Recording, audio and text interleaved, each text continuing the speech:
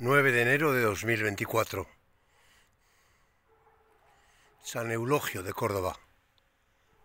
Paraíso aquí en la tierra. San Millán de los Caballeros. Provincia de León. Comunidad de Castilla y León. Reino de España. Aún en paz, adiós, gracias. Aupa. Siempre aupa.